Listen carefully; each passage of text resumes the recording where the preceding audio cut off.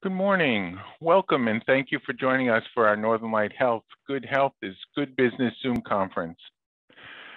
Thanks to the COVID-19 Delta variant, to quote Yogi Berra, it's deja vu all over again.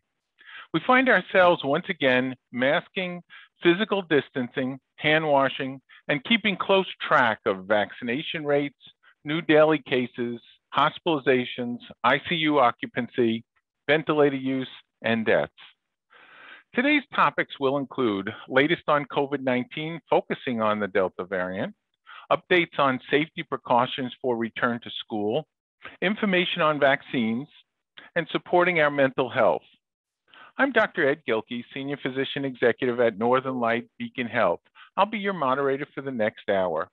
Our panelists today are Dr. Amy Belisle, Chief Pediatrician and Chief Child Health Officer for the State of Maine Department of Health and Human Services, Dr. Elizabeth Marnick, Assistant Professor of Molecular Biochemistry at Husson University, Angela Felicia, Director of Healthy Life Resources Program at Northern Light Acadia, Dr. Jim Jarvis, Director of Clinical Education at Northern Light Eastern Maine Medical Center and Physician Leader for Vaccinations and COVID-19 Incident Command at Northern Light Health. Before we get started, I will read out legal disclosure. The coronavirus pandemic is an ongoing, continuously evolving situation. Northern Light Health encourages everyone to follow federal and state governmental guidance and mandates. Northern Light Health does not know the particulars of your situation, so the information presented today is general in nature and is based upon Northern Light Health's own experience, which may or may not apply in your specific situation and which may be revised as we learn more about the coronavirus. Accordingly, Following any guidance Northern Light Health presents today in no way guarantees that you, your employees, and or your customers and clients will not contract or spread the coronavirus. A reminder, this hour is for you. If at any time you have a question for our panelists, please use the Q&A function. I'll keep track of your questions and have our speakers respond. Also, I hope each of you take a few minutes immediately following this hour to answer our quick five question survey. Your input directly affects our topics and helps guide our future conferences. Dr. Jarvis will start us off with a COVID-19 update. Jim? Thank you, Ed. Um, next slide, please. So really want to talk about the Delta variant because that's really what we're talking about now. Um, the Delta variant, in my opinion, should be treated just as if it was a brand new virus and, and not that this is the same coronavirus um, we have seen before. Uh, this is just a population map of the United States of cases that we've, that, that cumulative cases, and you can see that there are many regions of the country that are now a deep, deep dark red. Um, and in Maine, we have a smattering of that. Um, and so it's cause for concern. The Delta variant, the, the Delta variant is at least two times more infectious than we've seen with either the Alpha variant or the original strain of the coronavirus causing COVID-19. At this time, we don't know if it's causing more severe disease, but it is certainly because of more people being infected. We've seen a dramatic increase in the rate of hospitalizations across the country and here in Maine as well. And in fact, community spread continues to rise uh, here in the state of Maine, with yesterday our percent positivity rate for Northern Light Health Labs uh, topping 7% um, for the last for the last week, and actually over six and a half percent for the for the previous two weeks. And so this is a slide just kind of indicating that that this is kind of going up. Um, the dramatic issue here is that we put this slide together on Monday. Today's only Wednesday, uh, and we've seen a dramatic rise even in just those two days. Um, you can see also by looking at the lower portion of the graph, this isn't just because there's just a small amount of tests being done. We're actually seeing an, a large increase in the tests being performed with a significant increase in the number of those being positive. Next slide, please. So this is a, the slide that worries me the most. And so this is from um, the Mayo Clinic, and there's a link there that can actually take you to the tracking trends. And you can see that back on June 15th, uh, most of the state of Maine was yellow. You can see Piscataquis County was a little bit orange. Just a few short weeks later, you can see that today uh, we are more we are more red than we are um, any other color, with some uh, smatterings of uh, dark purple. Each of those indicates just more of a, a percent population of 100,000 that are um, now infected. And then you look at what the prediction is for just a couple of weeks from now, and you can see that, that the situation becomes even more grave, where now we no longer have anybody in, orange, in yellow, we only have one county in orange, and most of the counties now are red or deep red.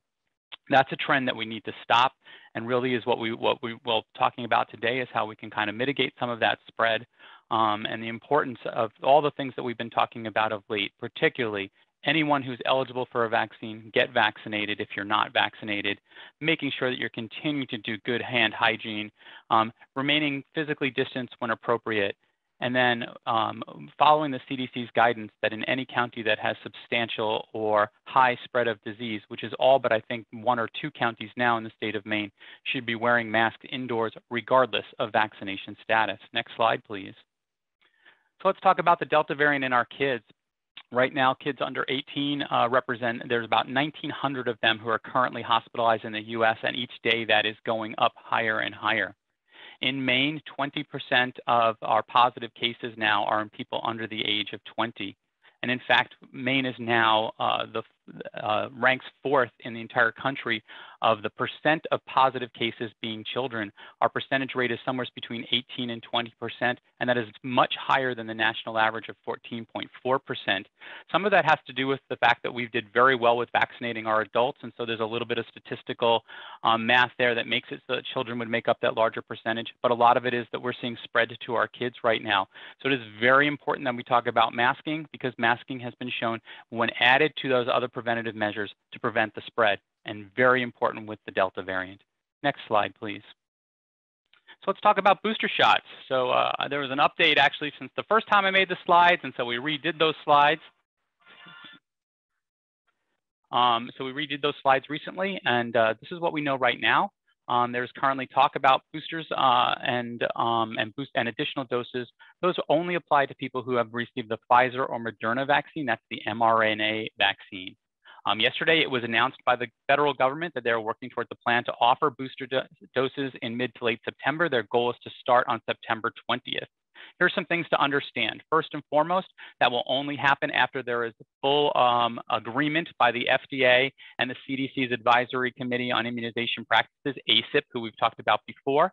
Um, once they, they uh, um, agree, then they will put this plan in place. They should begin only to no earlier than people um, who received their last dose of the primary series eight months before. So really that we're talking about ind individuals who are first responders, healthcare workers, and a few other individuals who got their vaccine back in December and January.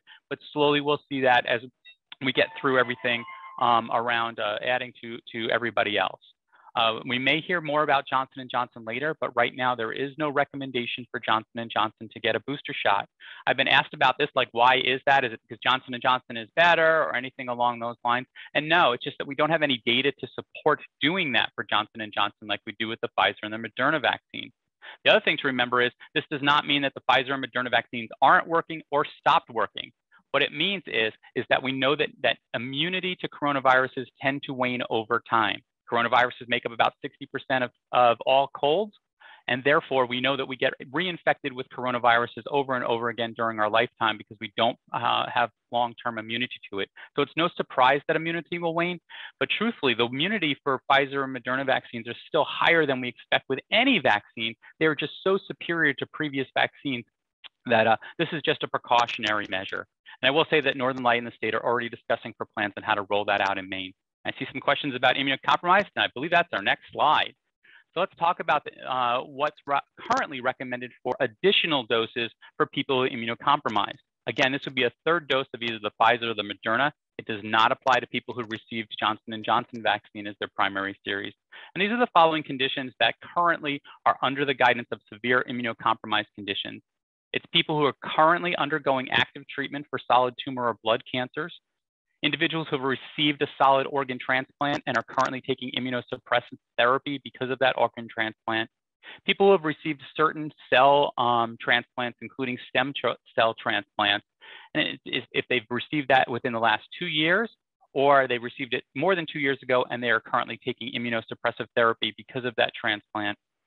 People who are in active treatment with high dose corticosteroids. So this is not that your doctor gave you a dose of you, um, you know, had a COPD exacerbation or something along those lines. This is people who are taking steroids on a daily basis at a very high dose. um, over a prolonged period of time. And then certain other medications that uh, I won't go into the specifics of, uh, suffice to say that you really need to consult with your physician if you think that you are taking an immunosuppressive drug um, that may qualify you for, for a third dose of either Pfizer or Moderna. And then lastly, it's people with advanced or untreated HIV infection. And that's a pretty uh, um, small population uh, here in the state of Maine as most of the patients with HIV are managed very, very well. And then, like I said, individuals should uh, consult with their physician. And, and really, I think that's important because especially for those people who are under treatment, they may actually need to alter their treatment schedule in order to get the vaccine to have its full efficacy. And so just showing up at a pharmacy and saying, hey, listen, I think I qualify for that third dose, can you give it to me, may not be in your best interest because you do need to make sure um, that you don't need to have your other medications adjusted when you get that vaccine. And I believe that's my last slide, and I'll turn it back over to Ed. So thanks, Jim. So uh, let me just uh, clarify a piece. So um, the eight months that we're talking about going forward are for everyone other than immunocompromised, uh, you know, as we roll out boosters. Uh, for the immunocompromised, the take-home messages, speak to your physician, and they may decide that shorter than eight months would be appropriate. Absolutely, Ed. In fact, the, the for immunocompromised individuals that meet that small classification there, it's 28 days after their last, the, the, last dose of the original series. So if it's been 28 days since they got their second dose, then they're eligible for their third. That's why I like to call it an additional dose rather than a booster, because it's really part of their primary series mm. of vaccine rather than a booster shot, which you, you know, usually we talk about booster shots coming after, later after you've uh, finished your primary series. So that's kind of the difference there. A little nuance, hard to pull that, pull that out in the media. Again, why it's important to consult with your provider. Excellent. Well, thank you, Jim, for that clarification. So next up is Dr. Belisle, who will further develop COVID-19 information, youth, and vaccines. Amy? Thank you very much, Dr. Jarvis and Dr. Gilkey. And thank you everyone for inviting me to talk to you today. First, I just want to highlight some of the data that we're seeing in Maine that Dr. Jarvis alluded to earlier around children and COVID-19. There is on the Maine CDC website information that's updated every two weeks that has quite detailed information around children with COVID disease in the state. As of last week, about 17% of the cases were under the age of 18. And we do publish the number of hospitalizations of children under the age of 25. So there were 49 as of last week. This number has started to increase over the last week, so we are watching that closely. And in this data, there is also information from the case reports. So it shows symptoms of children that have had COVID, and it provides much more detailed information that may be helpful for the general public and also for medical providers who are um, assessing children with COVID-19 symptoms. You can go to the next slide. So today we're going to talk about the Maine CDC's response to the US CDC guidelines for K-12 schools and the recommendations that have been provided from Maine DHHS Department of Education in the state. We are asking schools to follow the US CDC's guidance on um, schools that was issued in mid-July. Part of that is recommendations around universal masking for all students and staff that gather in person in the classrooms. This is especially important, as Dr. Jarvis is saying, with the increase of the Delta variant. And additionally, all students on buses and vans and school provided transports will need to wear masks. This is the same as last year in the state. There's been no change there. The exciting part for us is that vaccines have been available in the state and teachers and school staff were prioritized for vaccines in March.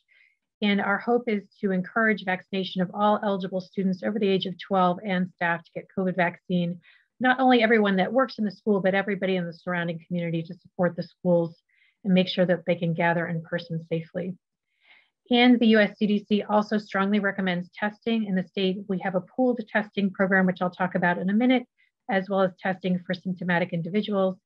And they were also encouraging masking and physical distancing when possible. Go to the next slide. There is very detailed guidance on the Department of Education's website. There is a COVID-19 toolkit, which is updated probably on a daily basis right now with additional information that the Department of Education has been highlighting around uh, mitigation tools for COVID-19. Um, we also, like I said, refer people back to the federal CDC guidance that was updated back in July. And the Maine CDC is working closely with the Department of Education on what we call a standard operating procedure for positive cases in schools. This was really just updated in the past week. It gets updated every so often by the Maine CDC. Biggest updates in the past week were around quarantine. So if schools have certain things in place, like masking, like pool testing, it will limit the number of people, uh, both staff and students that need to go into quarantine. And so there are a lot of nuances in this guidance, but I just wanted to make sure that people were aware that it is available for review on the Department of Education website. You can go to the next slide. Another big piece that we are continuing to emphasize is that children, students, and staff should stay home if they're sick. Department of Education provides a pre-screening tool for all the schools to utilize. Last year, the tool was a little bit more focused on COVID-19 symptoms. This year, they have gone back to more general symptoms around um, being unwell and asking families to keep their children home if they are sick. Not only are we seeing COVID 19 at this point, but as you probably have heard in the South, there's more incidents of what's called respiratory syncytial virus or RSV. They've seen a lot more cases of children be admitted to the hospitals with that. And we're starting to see RSV in the state. So not only is there COVID, there is RSV, and we will start to have flu season pretty soon, in addition to our normal colds and flus that we see uh, normally in the fall and winter time. So it's really important to make sure that if you're sick, that you stay home. That's, this doesn't just apply to the schools, it applies to the health systems, it applies to businesses, it applies to all the organizations. You go to the next slide. The Department of Education and DHHS is working um, with schools around testing.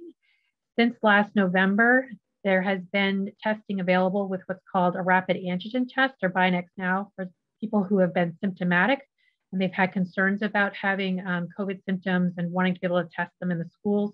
That's been available. A lot of the schools in the state have by BinaxNOW testing. What is new is as of May, the state has made available pool testing for schools. Pool testing is when you have 10 to 25 individuals um, in a school classroom or a school setting.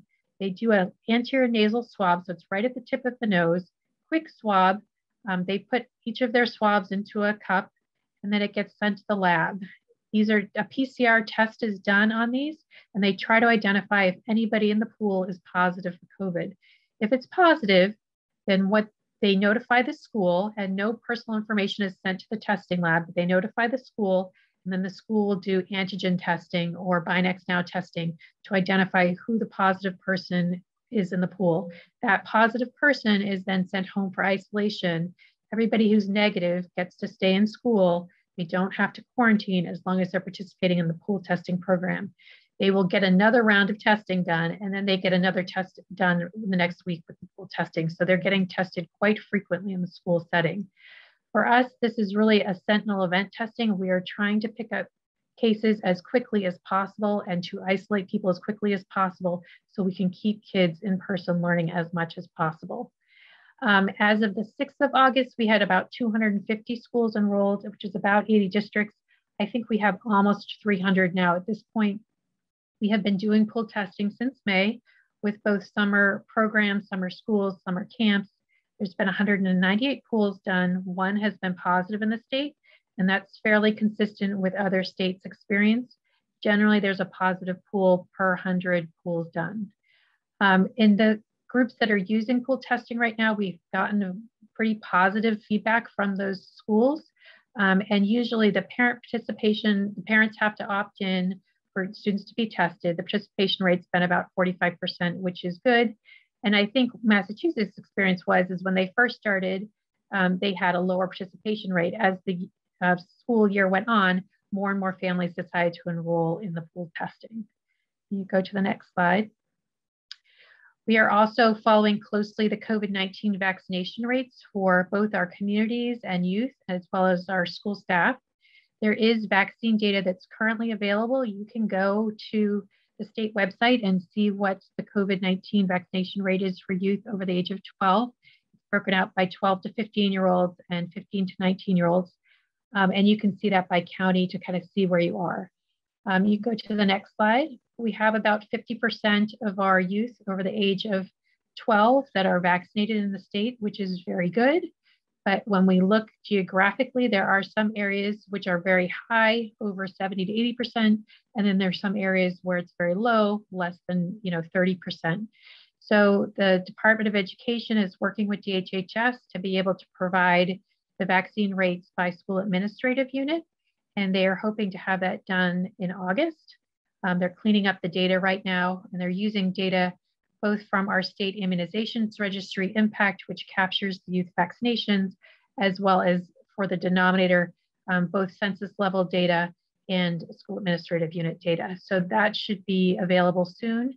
That will help us identify where potentially there are some gaps and some schools that might need some help, um, either providing school-based um, vaccine clinics or maybe the community would like to do a vaccine clinic, not only for the school, but also for the participants in the surrounding communities.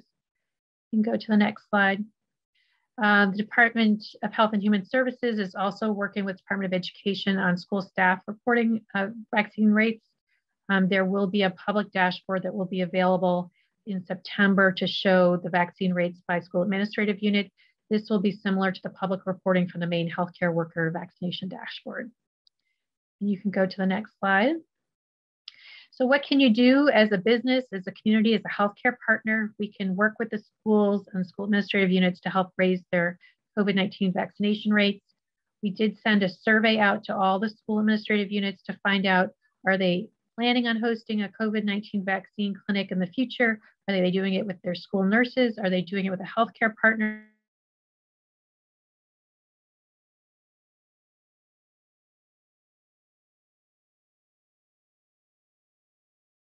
From schools who would like to be partnered with a vaccine provider, and others have told us they already have clinics planned with their health care partner. There are also resources available online that the Maine CDC has put together around COVID-19 vaccine. Um, there are videos um, available as well as print materials and online materials. Uh, we're also encouraging schools to organize community forums with their school leadership and local medical and public health experts to answer questions from families. Additionally, um, for the school nurses, they have what's called a school located vaccine clinic toolkit that has been recently updated with more information around offering COVID 19 to students and staff. You can go to the next slide. Um, as many of you know, there is the routine childhood immunizations uh, law that goes into effect September 1st that um, takes away philosophical and religious exemptions, and children will need a medical exemption um, if they're not going to get a vaccine.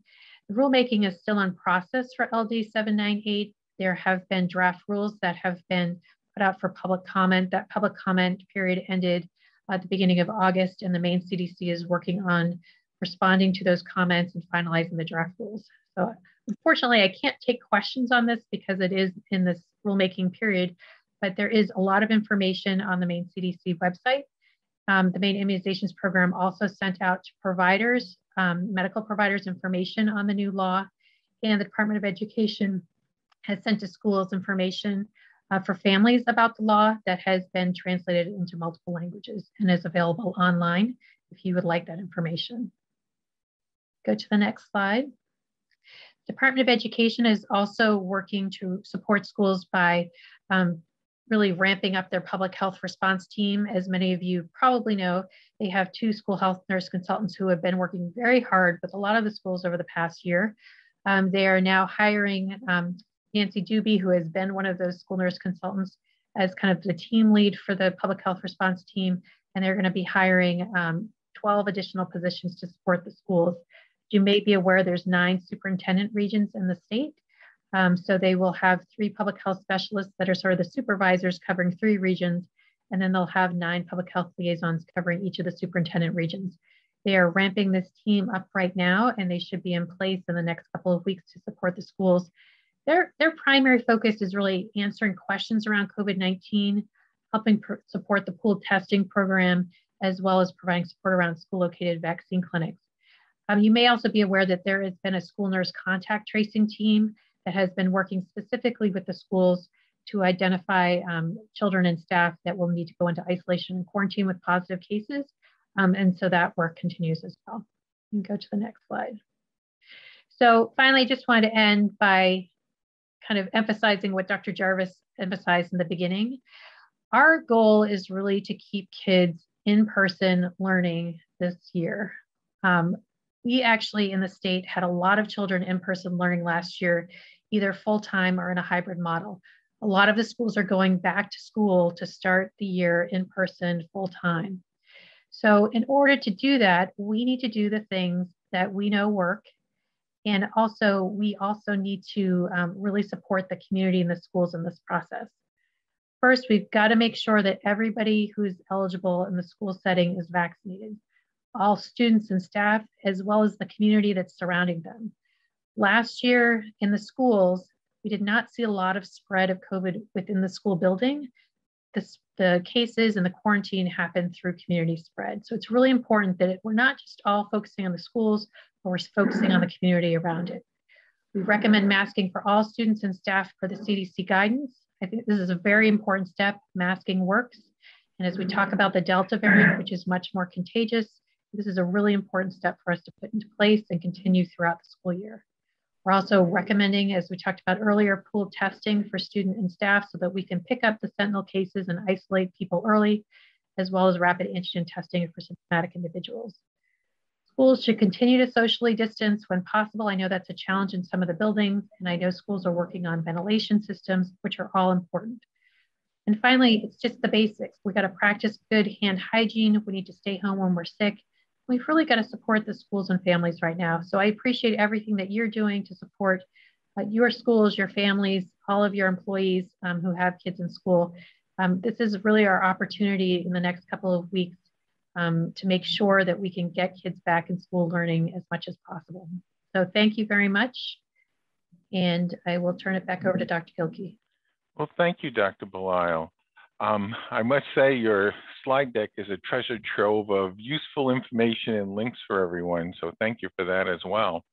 So for this next segment, we will hold a roundtable conversation with our panelists, and I will incorporate the questions you place in the Q&A box.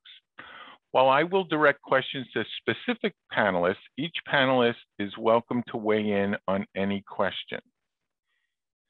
So panelists, please introduce yourself and share with our audience what you have been primarily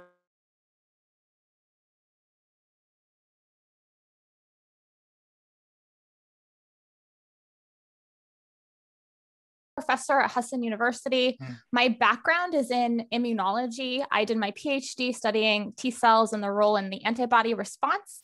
Um, but my passion really is education, which is why I'm a professor. And I also do a lot of education with the public. So I do a lot of science communication efforts to make the science around all of these vaccines and COVID in general accessible to all individuals. So I'm really happy to be here today. I'm also a mother myself, so I understand the struggles that parents are trying to navigate at this period of time, and I'm happy to help in any way that I can.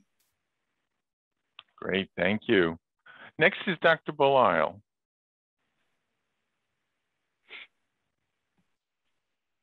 Thank you, Ed.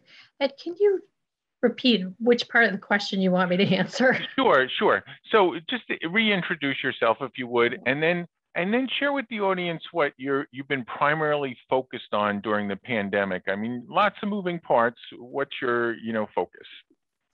And you can go on video if you care to. Oh, okay, very good.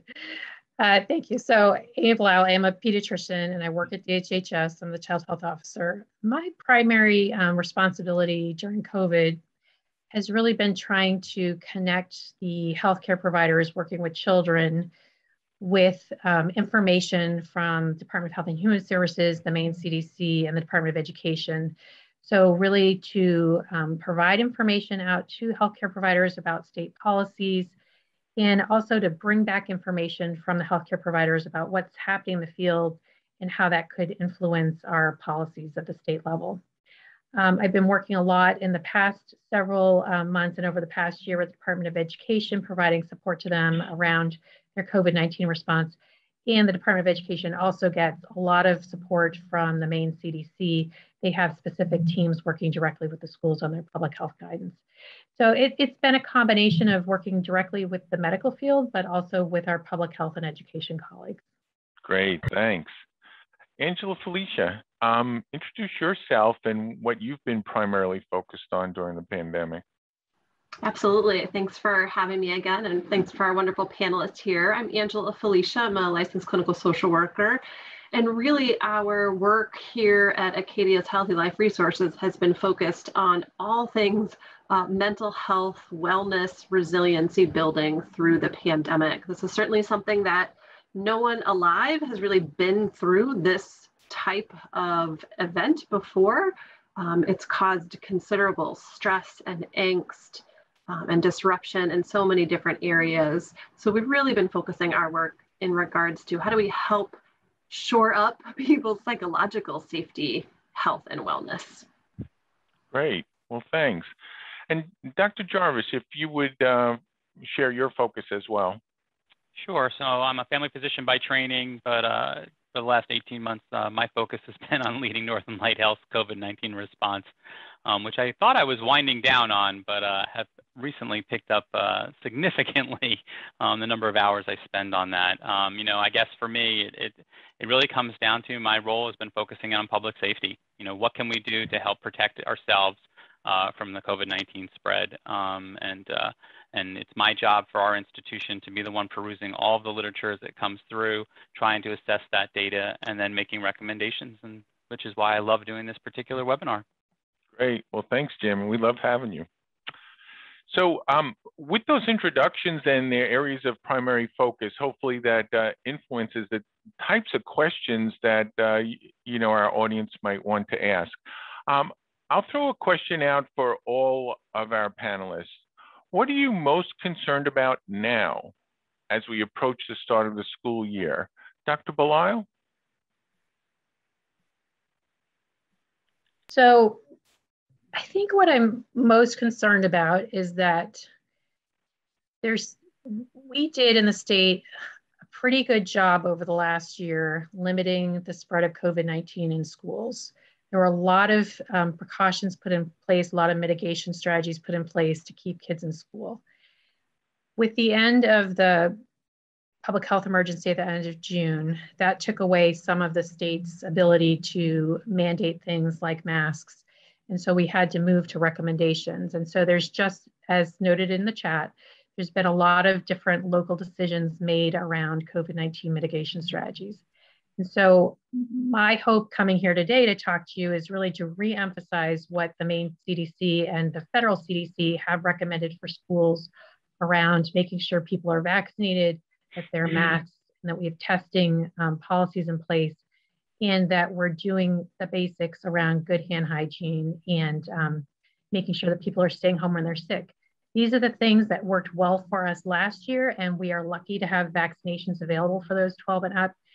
And my concern is that people uh, potentially are losing focus on the things that work, um, and that there's just a lot of different local decisions being made um, that may um, cause us to have more outbreaks and more children not being in person learning.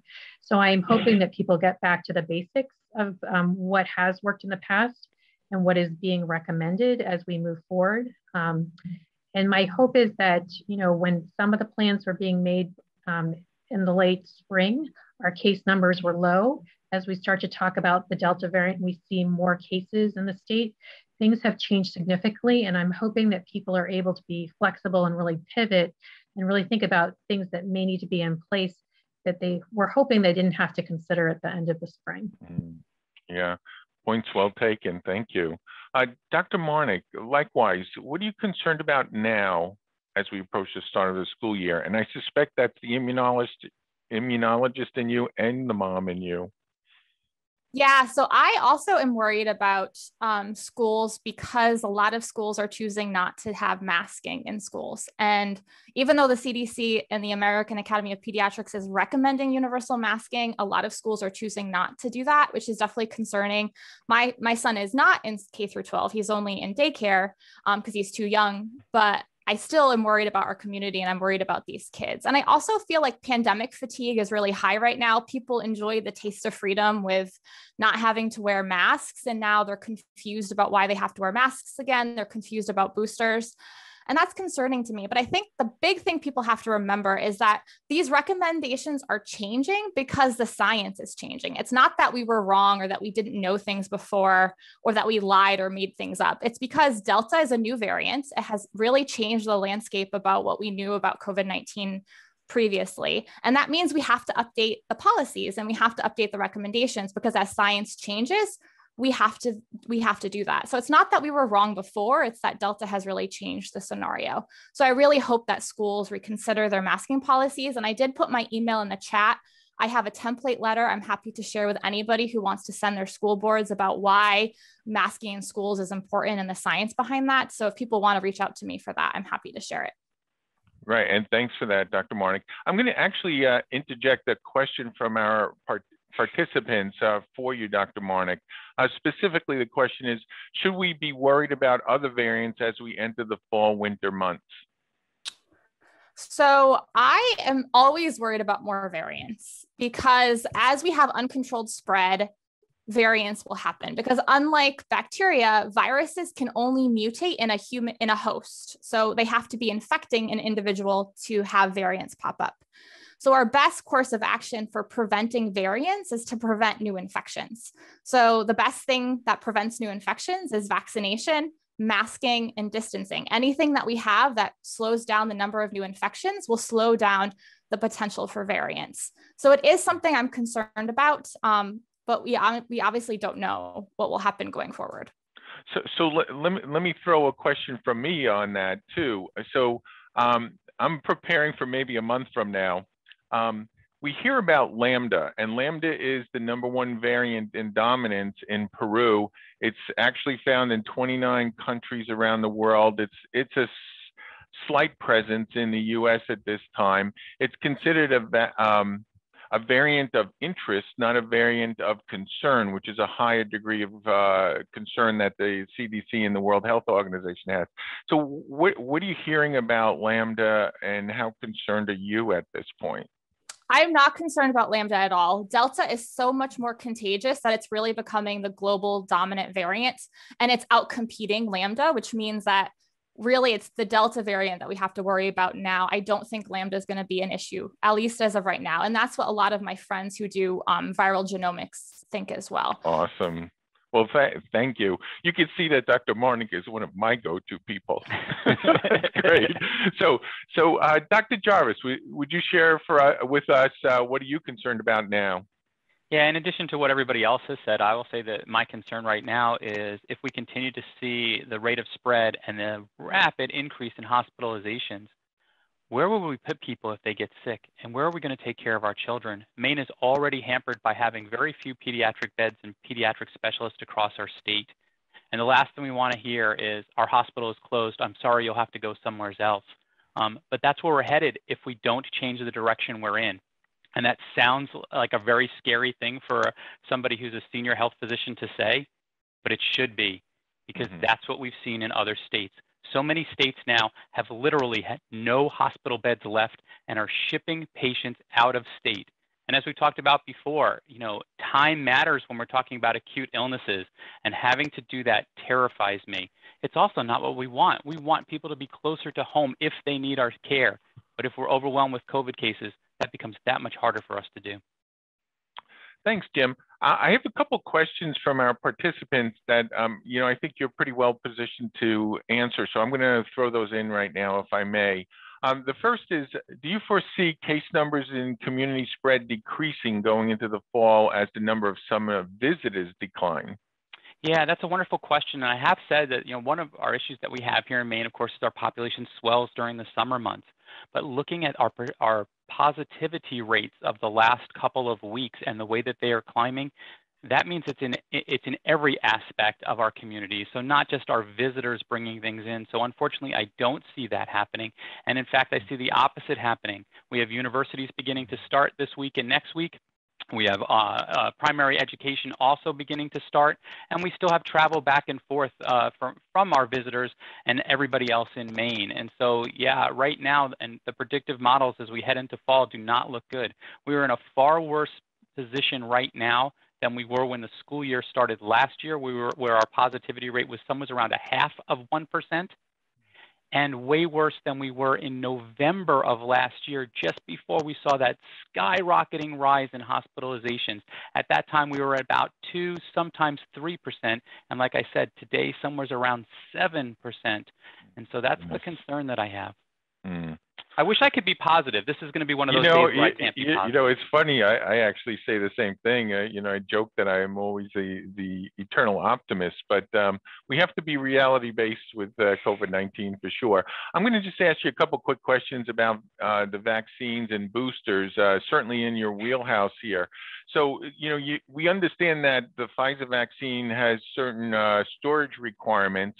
And maybe you could talk about people who have had the Pfizer that got it at the uh, Cross Center, for instance, and now would have to travel pretty far to gain access to Pfizer, could they switch to Moderna or J and J uh, if they're locally available? And then while you're at it, just talk about how do you foresee the booster shots being offered? Would it be anything like the uh, mass centers that we did at the Cross Center and down in the South as well?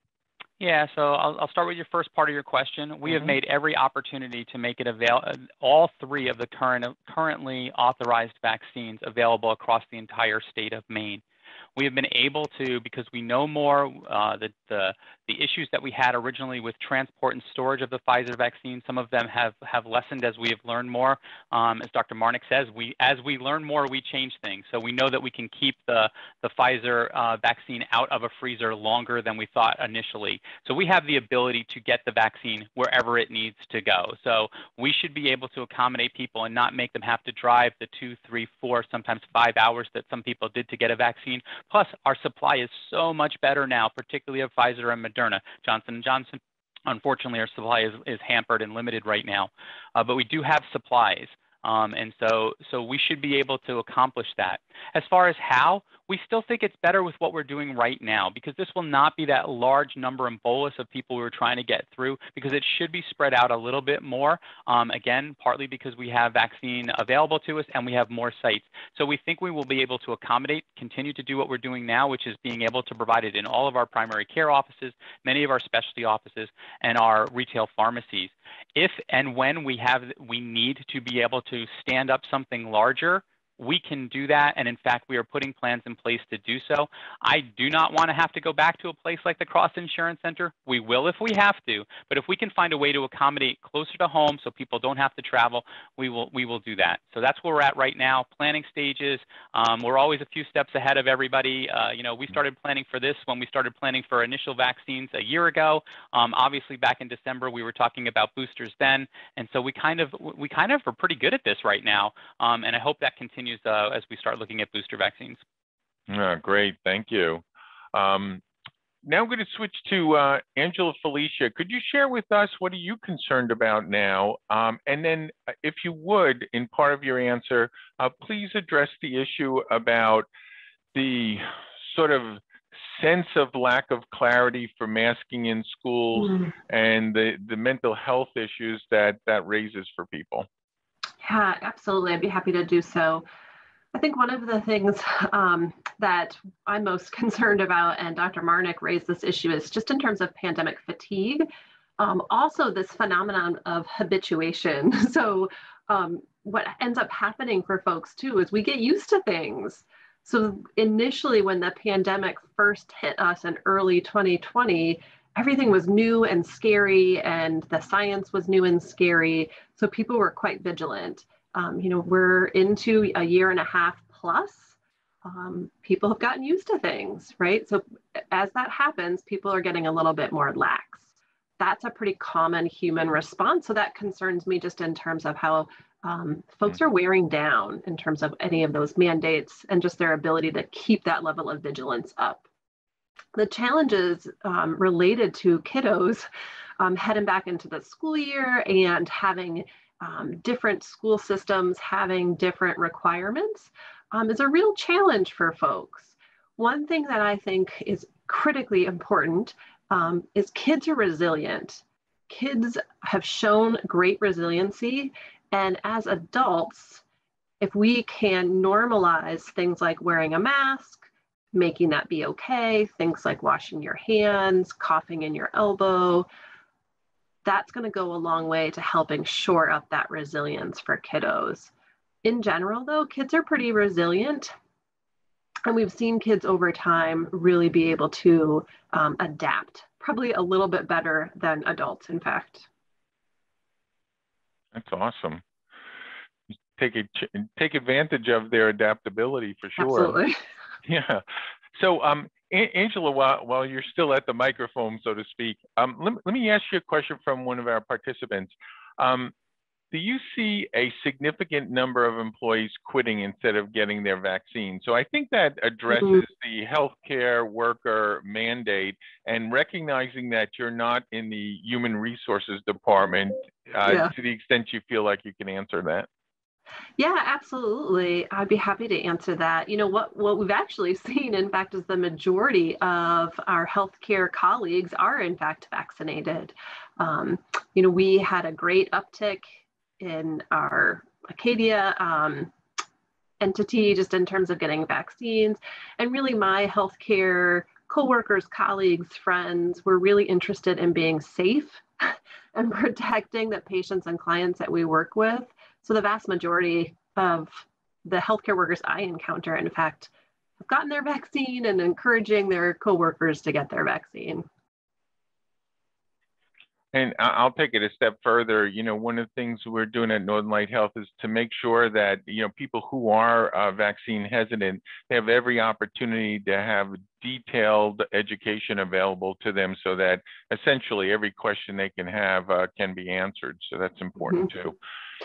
Okay, great. Thank you. Um, I'm going to uh, take on one of the questions here. Um, explain, please, is the booster the same vaccine that we received previously or some variation? So the booster that will be available uh, from Pfizer will be the same uh, third dose, if you will, of the formulation that we've had. The same for Moderna. It'll be the uh, third dose, uh, same formulation. J&J is yet to be uh, announced, as Dr. Jarvis shared with us. Going forward, um, we may be talking about boosters in a different way. So if you think about as variants develop potentially over the next year, will those variants mutate away from effectiveness of our current um, vaccines? And that may happen. So um, I think we may be seeing some variation on the boosters going forward. The good thing is the technology is such that that's not a very difficult thing for the manufacturers to accommodate to. So uh, Dr. Marnick, uh, that falls into your wheelhouse a bit. You know, what are you seeing? And, and if it's different than my, my explanation, uh, I've learned again. Yeah, so I think it's possible that we will see um, variant specific boosters in the future. Uh, right now, those are, like you said, those aren't yet to the table. So the boosters would be the same, the same dose, but they are Pfizer and Moderna are both working on boosters for um, Delta and some other variants. And the preliminary data looks really good um, that those would work really well, but it really is going to depend on what variants pop up. Because right now, Delta doesn't escape immunity from vaccines completely. And it's hard to predict how this virus could evolve in the future. But like you said, it really is quick and easy to just tweak the vaccines as needed if that does become an issue in the future. Excellent. Well, thank you. Uh, Dr. Belisle, I have a couple of questions related to school and masking that uh, I'm, I'm going to group together, and I think you might be in a position to help us understand this. So one of the questions is, is there an effort to encourage a statewide mask mandate in schools rather than the piecemeal approach that is currently resulting in many school districts making masks optional? And I think there's a lot of concern I'm picking up on about the optional concept here. So a few things. One, um, the Maine CDC has worked with Department of Education and has recommended that people follow the federal CDC guidance and has put that both out by email and their website. They've been talking um, about it for the past month. Dr. Shah from the Maine CDC held a um, conference call webinar with Department of Education with over 500 school leaders on July 28th to talk through all these recommendations, including masking and to encourage it. And Commissioner Makin at the Department of Education meets weekly with the superintendents and school leaders about all of these issues and has talked through them. So I think that the information has gone out, the recommendations have gone out. As you know, it is local control in the state, and so there is local variation. Um, but I am hoping, and as we start to see the schools in the South go back to school, and you'll see in the news the number of kids going out on quarantine and people reconsidering mask mandates, I'm hoping that that will inform us in the state and we'll encourage people to adopt a masking policy in the state if they haven't already. Great. Well, I'm going to follow up with a another question that goes beyond just the school environment, but the community. But uh, Dr. Belisle, I think you know you're positioned to answer this as well. Um, I'm hearing more and more from frustrated vaccinated people about having to mask up again. The feeling is that they are being inconvenienced to accommodate the bad behavior of others who have chosen not to get vaccinated. Is the masking protecting the vaccinated as well as the unvaccinated?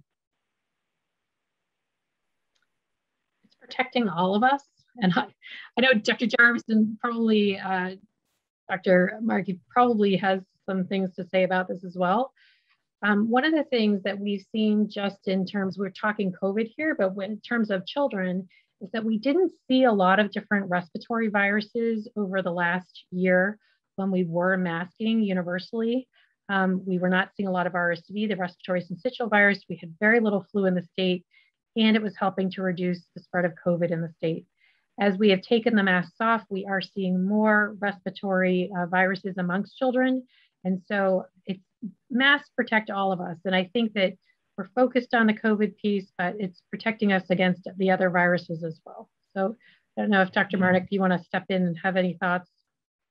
Yeah, I mean, I will echo that. Masking works. People have it, and people think masking is new, but people started masking during the bubonic plague. They learned that it worked then, and it's been used as a method of containing pathogens since that time. So we know that masking works. It works best when everybody is masked, but it still offers protection, even if you're just the one wearing a mask, because the um, the we know that the amount of virus that you're exposed to can dictate if you get sick and how sick you get.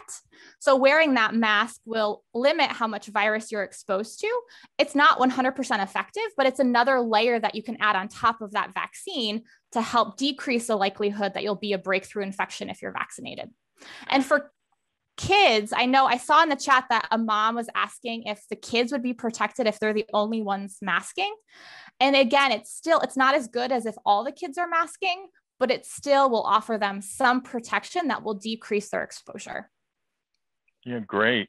Great. So I'll, I'll weigh in on the masking. So so masking prevents me from passing the virus to others to a large degree, and it pre prevents what virus is in the air from others from getting into me.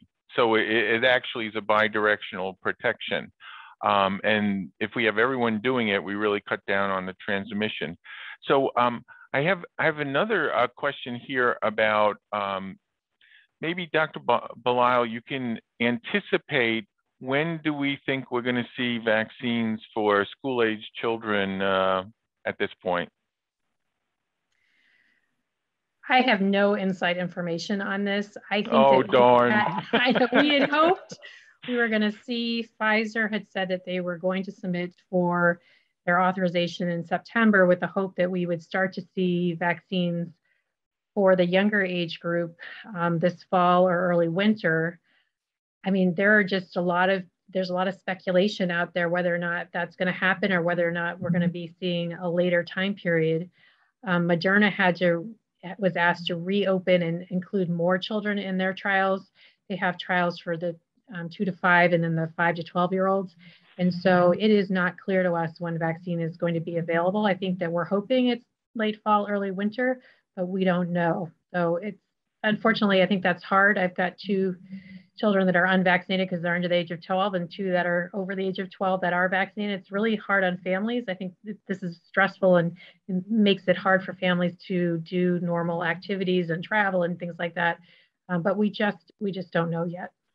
Yeah, so, th so that question will remain on our radar screen as we move forward through this webinar series. You know, I, I know Dr. Jarvis is uh, paying a great deal of attention to that, as am I. Um, Dr. Jarvis, I have a couple of questions uh, for you. So are you anticipating that uh, when people get the booster, the sim symptoms that they get uh, on that second vaccine dose is going to be fairly similar? Yeah, that's hard to say. So yeah, you know, overall, I could say yes, globally, that's the way we'll look at things. Um, but everybody's so different, and we found that many people had a very different response to their first shot than their second shot. We had people who said their first shot was worse than their second shot. We know that most people said that the second shot was worse than the first one, which kind of made sense from an immunologic standpoint. But I'll tell you, with COVID, I expect everything and anything. Um, and so, uh, you know, so so really, my concern is if if with one of your first or second doses you had some kind of of reaction that a medical person had to intervene with, then make sure that that you alert your medical personnel when you're going to get your third when you're going to get your third dose, so that maybe we can pre-medicate you or at least watch you a little bit more closely. But if we're talking about the the sore arm, the not feeling well, the fatigue, the headache kind of things that a lot of people experienced, yeah, there's not a whole lot we can do that to prevent that from happening again. And I can't tell you whether or not it's going to happen. Each individual who had it happen to them before, it's always a little bit different when we're talking about the immune system. Excellent. Um, can you mention also, you know, considering that we're getting a third dose, um, how will that uh, help with Delta? Yeah, so, so first and foremost, as Dr. Marnick already stated, the three currently approved vaccine or authorized vaccines in the United States give us great coverage against Delta. Okay, we've been seeing that. Uh, the UK uh, told us that because they saw it a whole lot before we did. The rest of Europe followed shortly behind that, and of course, we just see that here in the United States. The reason why Delta variant is spreading so rapidly isn't because the vaccines aren't working. It's because we still have so many people who are unvaccinated, including, unfortunately, our children who can't be vaccinated, and they are now becoming a vector spreading the disease to adults who are unvaccinated. We we do see breakthrough cases, and there's probably a couple of reasons for that. One, the much more infectious uh, activity of the Delta virus. And two, some of us have been vaccinated now for well over eight months, and we knew that, that immunity was going to wane, so it's just out there. And then, of course, we still have that population of people who are immunocompromised, where despite even being vaccinated, they may not be able to uh, have a, an appropriate immune response to fight off Delta. So those are the factors that are kind of what we're dealing with now again, I still, I'm optimistic. I still hope that there'll be a shift in, in the way we talk about vaccines in this country and that we'll see more people get vaccinated, particularly because they don't want to wind up like their family members did in hospitals or unfortunately dying. And so uh, if we heed that call, we can stem this. Um, and so that's where, where really we should be focusing in on right now.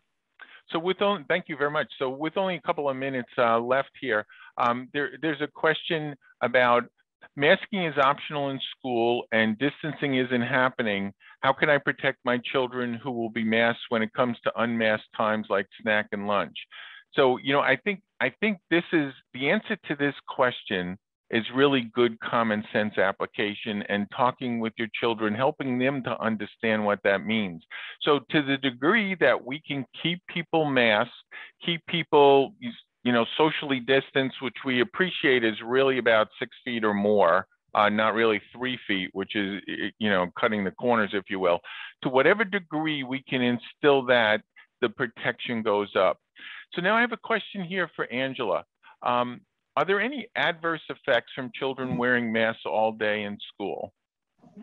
That's a great question. Um, certainly I won't speak to any science related to that, but in terms of mental health, absolutely not, none. um, kids are resilient.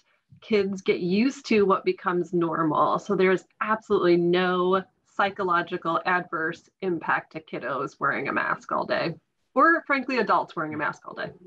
Excellent, thank you. So we find ourselves at the uh, tail end of our hour, and uh, certainly, once again, we could go on for another whole hour. So we appreciate our panelists and all their knowledge. Um, we've included some tools for you at the end of this presentation. Thank you all for joining us, and thank you to our panelists. I hope this hour has been a help to support you, your employees, and our communities to safely manage through this pandemic. Just a reminder, we will be emailing you a survey right after our conference please be sure to give us your feedback so we can continue to provide relevant information. Our next session will be on September 16th. Our theme for this session will be mental health and living through COVID-19. We'll give, we'll give updates on the virus, keeping everyone safe and vaccines. We'll also devote considerable time to many aspects of mental health across all age groups. I think we are recognizing that our long awaited summer freedoms are being curtailed and the toll this may take on everyone is emerging. There's a lot to deal with. Thinking and learning together is part of the solution. We will send you the link for this session. We encourage you to share the invitation with your friends, colleagues, and others who might benefit from the information. By working together to promote good health, we will be promoting good business. Thank you and have a good afternoon.